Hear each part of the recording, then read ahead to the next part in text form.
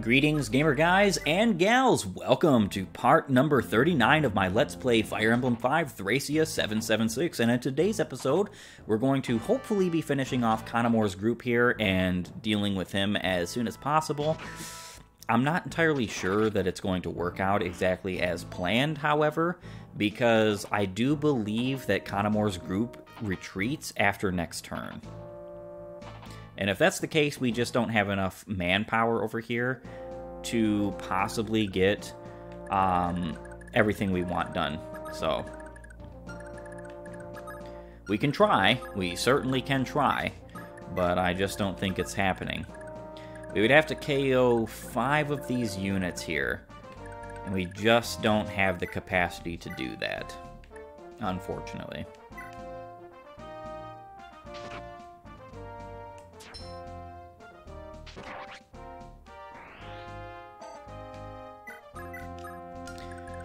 We could hope for real silly things to happen, like um, vigor stars, but it's, again, it's not something that you can really bet on.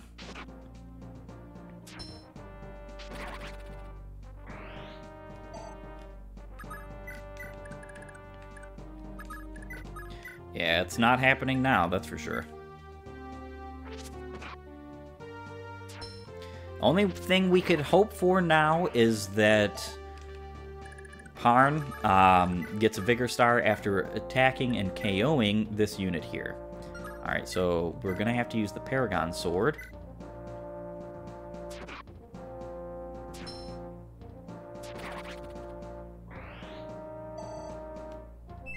And he did. Awesome. So with that being said, we're going to be able to steal the Nihil Manual. Uh, ooh. So we have to get rid of something here. Um, well, what we could do is throw him a pure water because we're not going to need it. Not a big fan of getting rid of items like that, but it was either that or we did not get the Nihil manual, because I do believe it is next turn he is going to be retreating with the rest of his crowd. And I was right.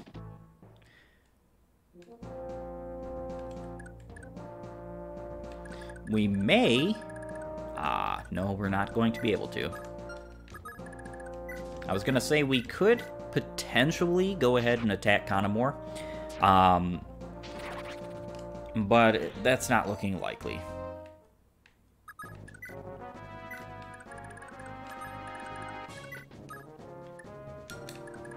Alright.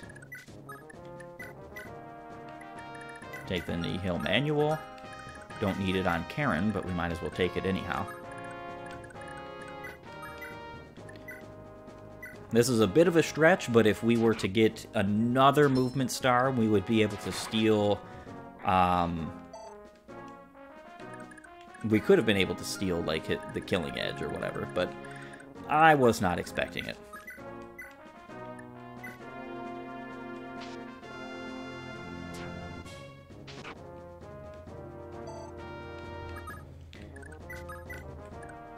And that is it for this chapter.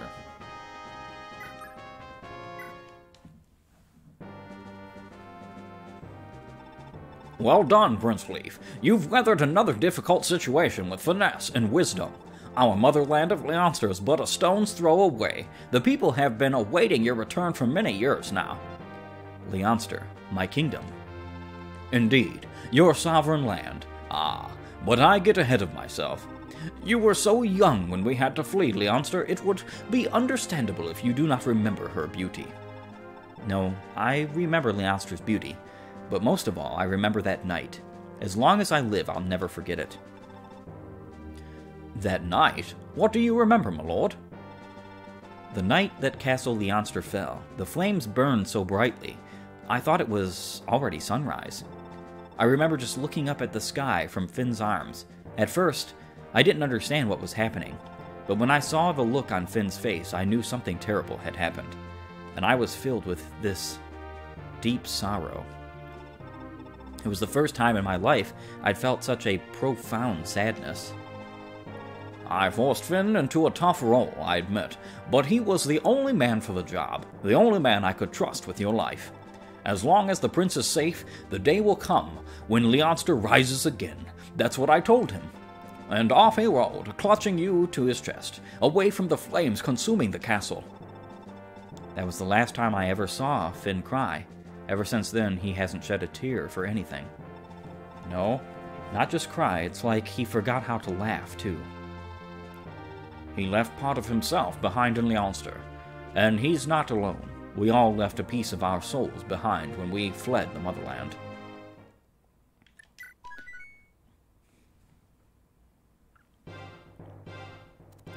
Having breached Fort Nordheim, the Liberation Army finally stood before the gates of Leonster.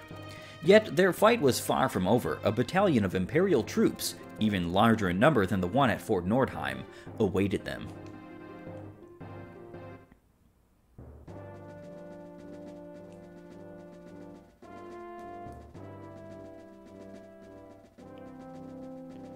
This is quite the intriguing chapter, to say the absolute least. Um, we have a large amount of enemies to deal with, and it's going to be kind of difficult. Uh, especially because several of our units are just not really um, not really up to snuff with some of the uh, enemies in this chapter. But luckily for us, we have means that we're going to be uh, taking care of these enemies. Uh, for instance, this darn Dark Bishop here, we're going to be taking care of him as well through means of the Silent Staff, which is going to be really funny, in my opinion. Um, we do have to use some pretty nefarious means in order to get a hold of Misha here. She is a specific unit that we need to be able to um, recruit by capturing. So the only way that we're going to be able to do that particularly well is if we bring somebody up with a sleep edge. And the only unit I can think of that is capable of doing this and well, especially without a warp use being burnt, though we aren't getting a free warp this chapter, we could necessarily use Marita to do this, because I think she would probably be um, the best case for this. Technically, um, there, there's other means that we can go about making sure we capture this unit. Um, but it's funny that she has a wind sword. She can't even use it right now because she's not dismounted. Um, it's kind of one of the silly things about Pegasus Knights is you'd think that they would be able to use stuff like uh, swords while they're mounted, especially upon promotion. Um, we do have several things we have to do in this chapter, including visit several villages. We have a lot of enemies to take care of, a lot to deal with. Not too many reinforcements, which is great, but we are seeing Nikolov uh, come back, and he has a Master Axe and a Killer Axe. This is one of those instances where you're capable of getting a Killer Axe if you so wished. Um, with five authority stars, he's going to be kind of a little bit of a nuisance. Plus, we're going to be seeing a unit here that is going to make our battle that much more difficult. So, with that being said, I think now is the time that I'm going to go ahead and deal with deploying as well as getting everything all together for my units and so on and so forth, items wise and whatnot. I will see you all in a few.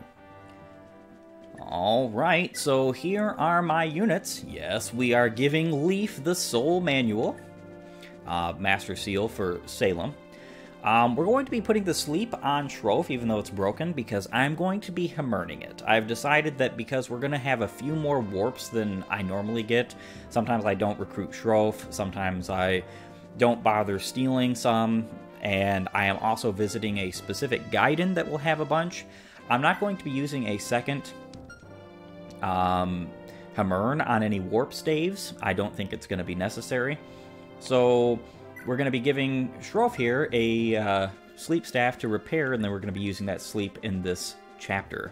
Um, I do have other units who are fully ready to um, take on all of the evils of this next mission. Fergus is getting the Nihil, Nihil manual, um, just in case. I've separated many of the scrolls as is needed. Karen and your flyers are definitely welcome here, especially due to the fact that they're going to have to deal with several of the units up north.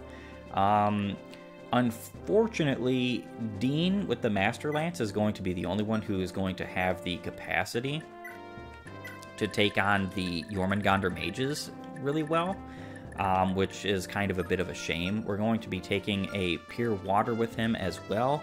Um, Edda can help, and Karen can help a bit as well. They're all going to have to uh, pitch in uh, for better or for worse, and that's pretty well it. So our units are positioned in such a way that I think it is perfectly well that we can start the chapter. 17, in fact, the Gates of Leonster.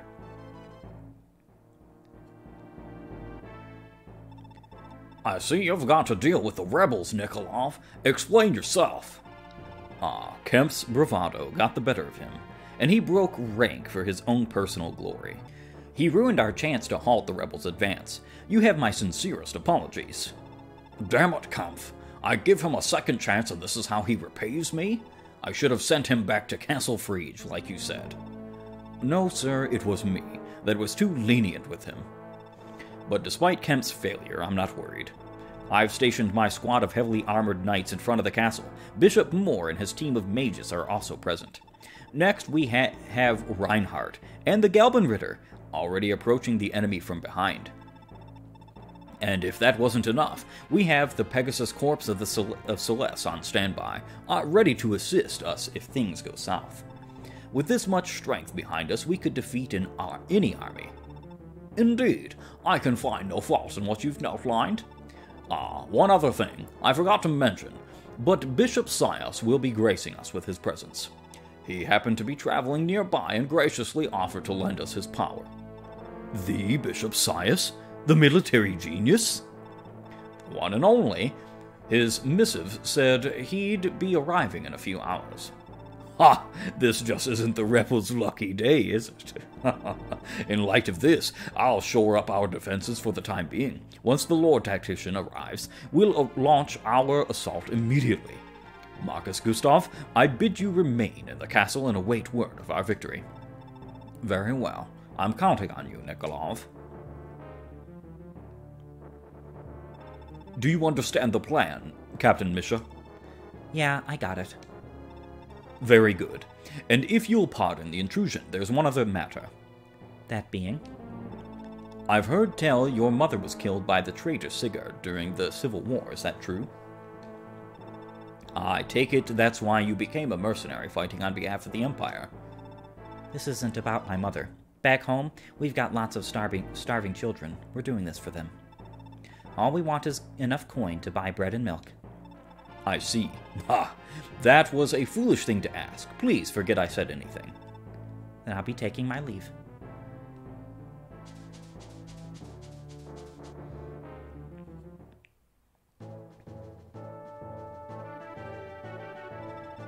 I'll not lie to you, my prince. The enemy's formation is nearly flawless.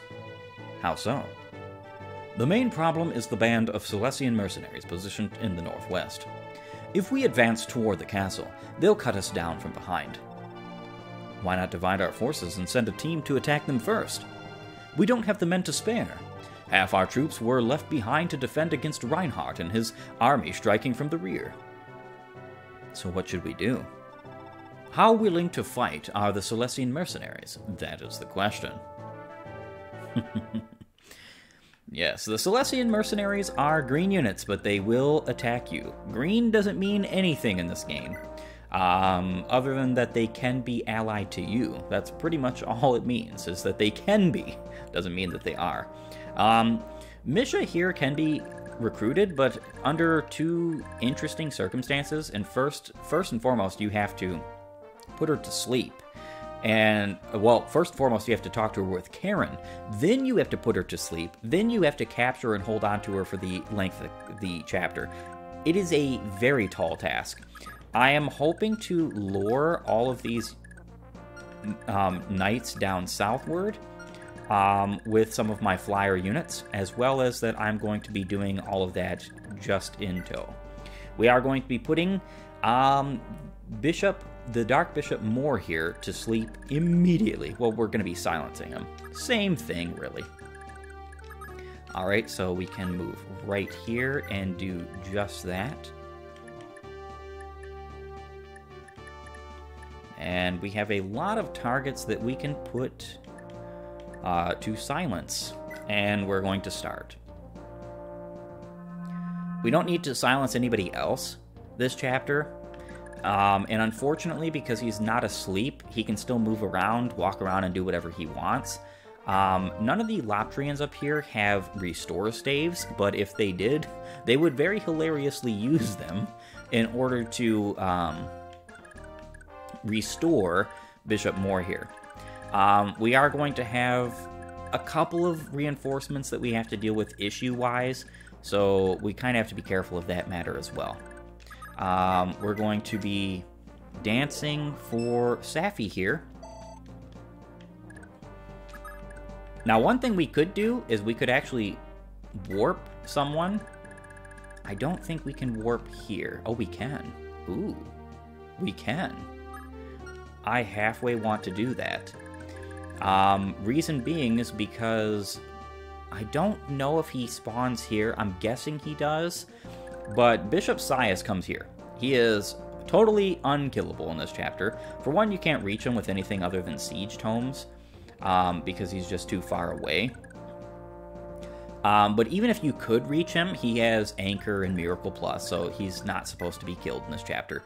We do have some Thoron, Elfire, Bolting, uh, and Meteor bishops here.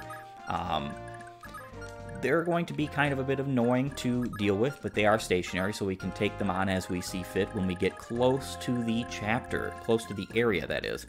Um, let's see. Bishop Shroff. I kind of want to put Salem. Hmm. Not really Salem. I don't know if I want to put Salem up there. Maybe a unit we don't particularly need, like Finn?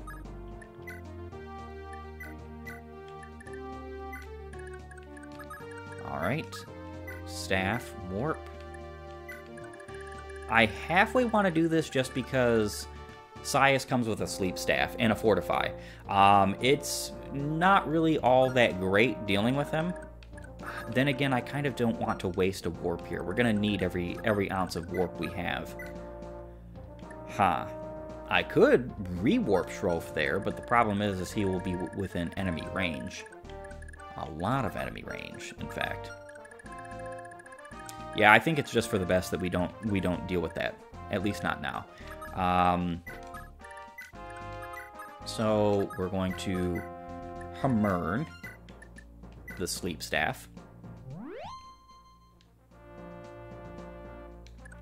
And now we can use that sleep staff on Misha. Now, Shroff doesn't have the magic to do that, but we have Salem.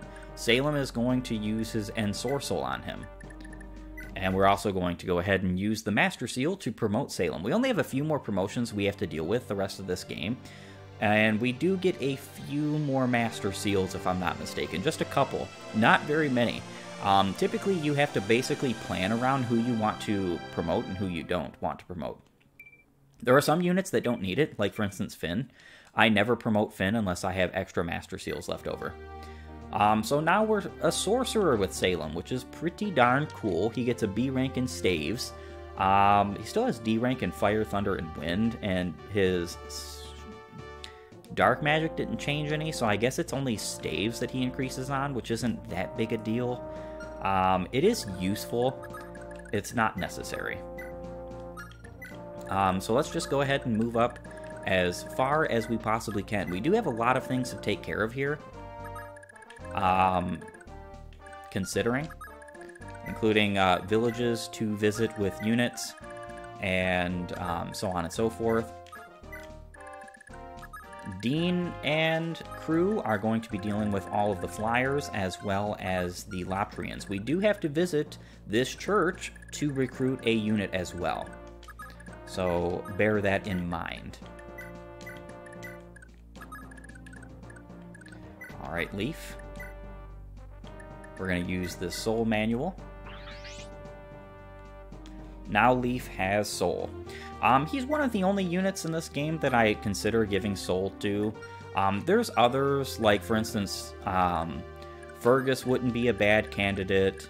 Um, Marita wouldn't be a bad candidate. She doesn't need it. Nobody really needs it. You do get a Luna manual as well, and in my humble opinion, I don't think anybody needs that as well.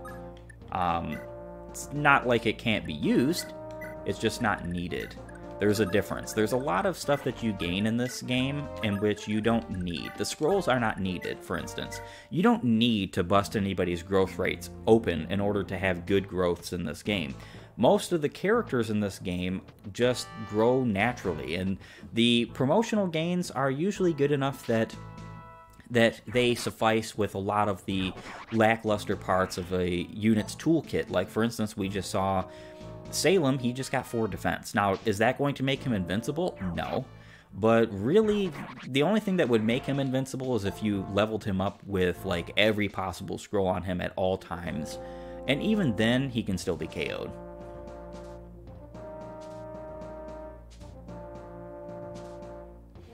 Alright, this is very awesome that they're moving. I'm actually super glad for that. Um, we could go about... Hmm.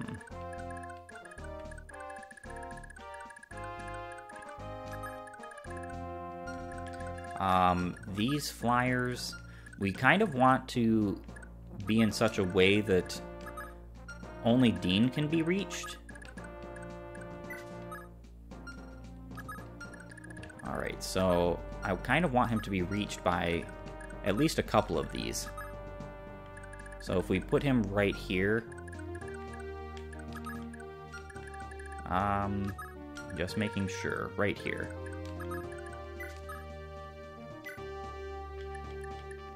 Um, and let's go ahead and equip the Master Lance for our ranged option.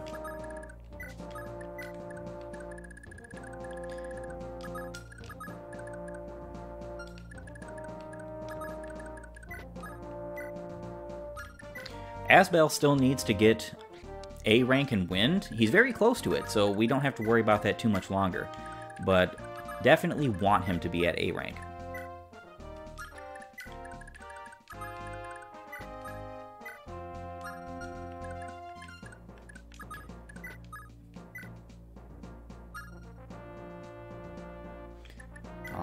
Going to ensorcel you next turn. Safi doesn't need to move up that far forward.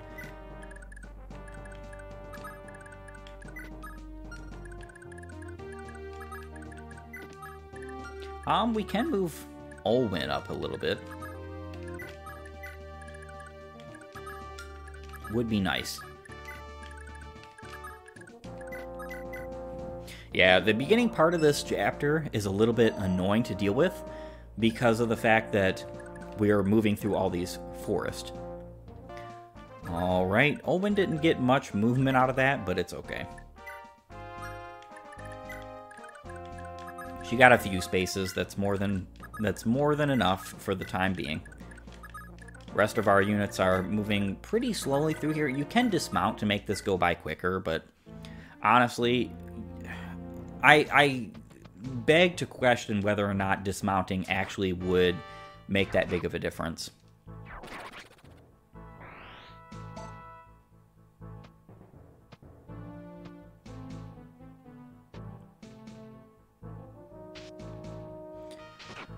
Just because when you dismount, you lose three movement, and even though you lose less movement while going through forest dismounted, I don't think it's that big of a difference.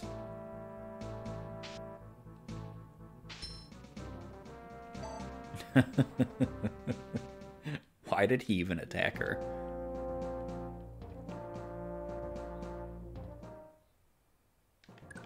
Alright, so Misha's squad did not move.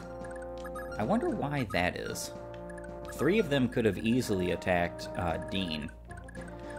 So that's kind of a bit weird. Um, we could go ahead and attack you, get you... Well, yeah, we're doing enough to uh, KO with two hits.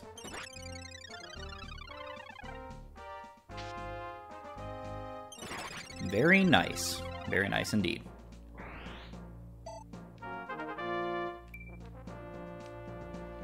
And he got a fantastic level up. That's pretty much all the stats I want out of him right now. Would be nice if he got a bit more defense, um, but it's not needed. Would also be nice if he got some movement. Um, another movement level up would be pretty cool. Um, impressive, even. So let's move outward. Uh, the amazing thing about Marita is that once she gets to the point she's at right now, there's pretty much no defeating her, even if she has something like a Slim Sword. Um, there's only a handful of enemies and bosses that could even pose a threat to uh, Marita right now. Um, without serious um, defense and like skills and abilities themselves. All right, so Jormungandr.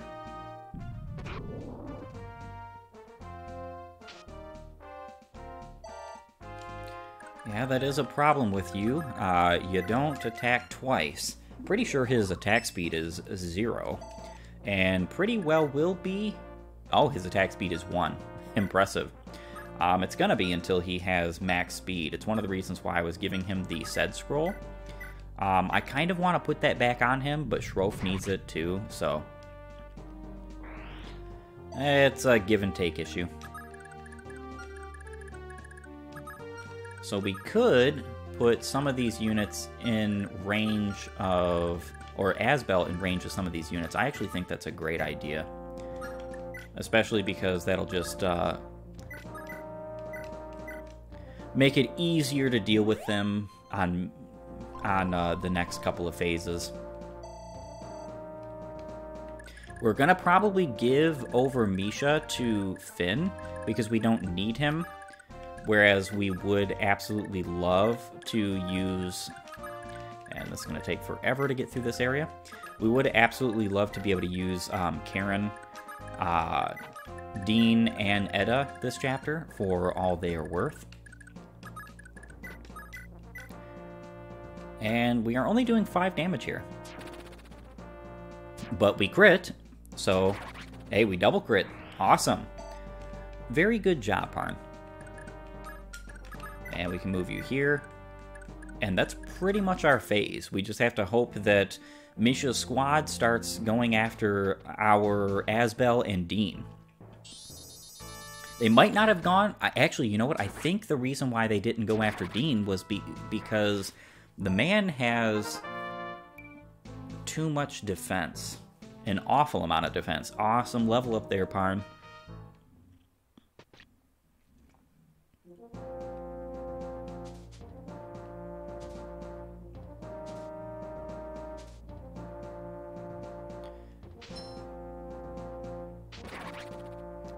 Very good.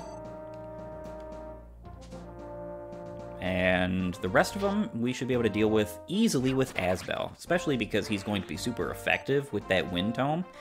Uh, they stand no chance. Absolutely none. Which is awesome. This chapter is and can be one of the more difficult chapters in the game, especially because of all of the side objectives and so on and so forth it's best to take it slow and to plan plan out what you're doing as best as you possibly can. Um, we are going to keep moving forward, though,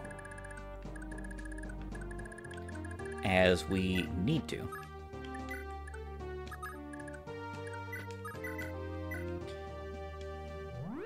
And we will heal up Parn.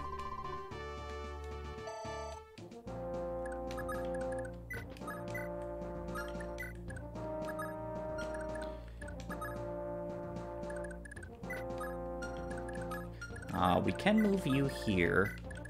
And what that will allow us to do is also get you over here a bit.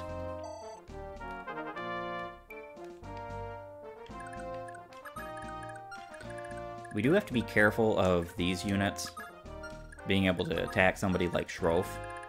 Um, let's go right down here and use Ensorcel.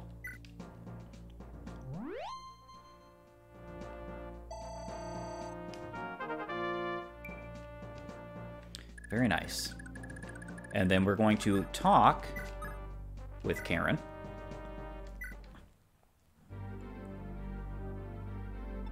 Captain Misha? Hey, last I checked, Silesse wasn't all buddy buddy with the Empire. Why are you on their side? I have something to protect. Simple as that. And what would that be? None of your damn business. That's what. Off with you now. This battle is just getting started.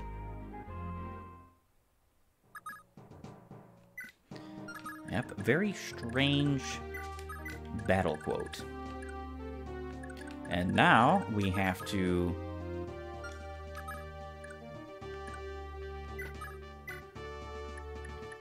put Misha to sleep.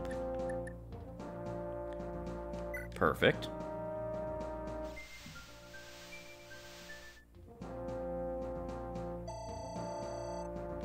That gives a good old level up for Shroff. And now that she's asleep, um, we actually can just... Hold on a second. Oh, we can't reach with uh, Finn. Unfortunately. Capture. We'll move here. Um, we will definitely take with Finn so that Eda can do work elsewise.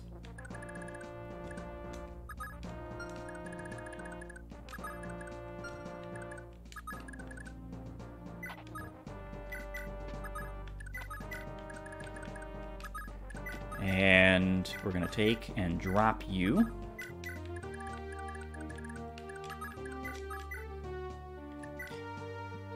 And Silver Lance here, we're not capturing. Why is it looking like we're... Oh, it's because we're attacking a green unit. Um, hmm. Only gonna do 5 damage to us if, if she actually hits Dean. She did, but oh well.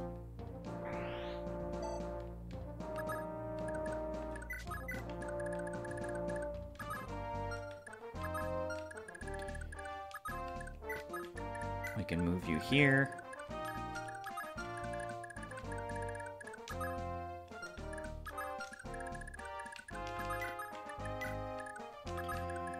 Yeah, so normally Misha and her squad can be quite terrifying if you don't deal with them right.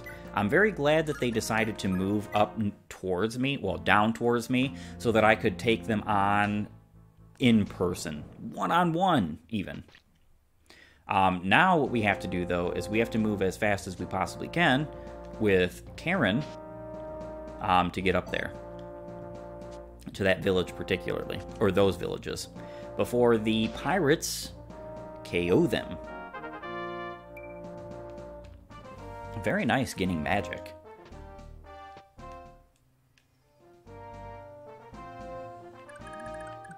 And I think we can just move here.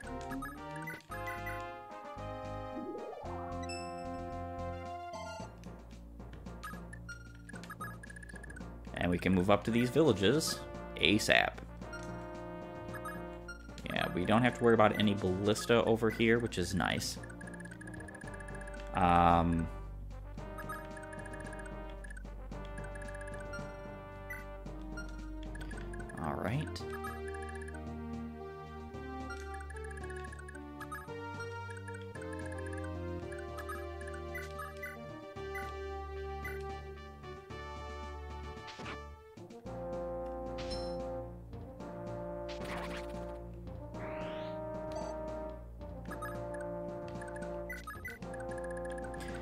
Um, interestingly enough, I actually think that I don't know who uh, we're going to be targeted by with the sleep staff of Saias when he comes here, but it might be Finn just because he's holding on to Misha. Now, he has to keep her this entire chapter. If you drop her, you release her, you might as well restart if you want to keep her, because otherwise you lose out on her just entirely. But with that being said, I think we have had enough of this chapter for the time being. We are going to have to continue this next time. I want to thank you for joining me. If you like my content, please upvote and follow, or like and subscribe depending on your platform. And while you're at it, have a great and glorious day gaming.